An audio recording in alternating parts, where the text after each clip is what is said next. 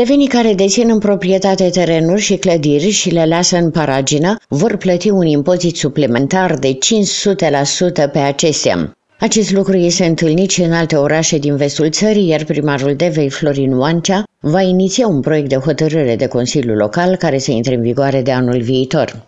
Voi iniția un proiect de hotărâre în acest an 2020, care să intre în vigoare pentru anul 2021, ca acei proprietari care dețin proprietăți în municipiul Deva, clădiri, suprafețe de teren și nu le îngrijesc sau mai rău le-au lăsat abandonate, uh, vom pune o supraimpozitare de 500%.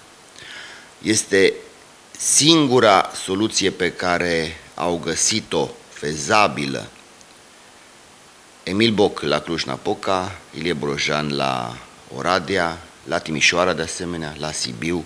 Principalii vizați de această regulă, care este funcțională și în Uniunea Europeană, sunt cei care dețin proprietăți în centrul orașului, dar nu numai. Pregătim devenii, proprietarii, pentru anul 2021 să își refacă fațadele pe zona de centru, că sunt foarte mulți proprietari și se presupune că cine are o proprietate în zona 0 uh, a municipiului Deva a avut și banii să o cumpere sau a moștenit-o și atunci are obligația de a întreține acea fațadă, mai ales că uh, în această zonă afluxul de uh, turiști este unul foarte mare.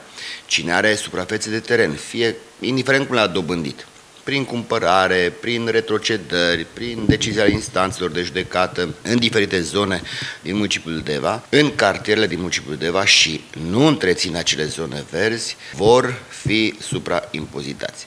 Este o regulă care funcționează în toată Uniunea Europeană. Primarul Florin Mancea a precizat că locuitorii reședinței de județ au obligația legală de a întreține proprietățile și a dat asigurări că nu vor exista alte creșteri de taxe și impozite. Ați observat că uh, devenii sunt și foarte bine că sunt pretențioși, le place un oraș curat, uh, când se sizează vreo neregulă, imediat uh, sau încercăm să acționăm și pe partea de curățenie, dar trebuie să înțeleagă toți devenii că au și obligații, nu numai drepturi.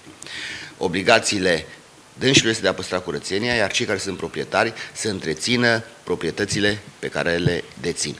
În rest, niciun cetățean de bună credință nu va plăti un leu în plus taxe și impozite locale. Proiectul de hotărâre de supraimpozitare a celor care nu își întrețin proprietățile nu va viza doar persoanele fizice, ci și pe cele juridice.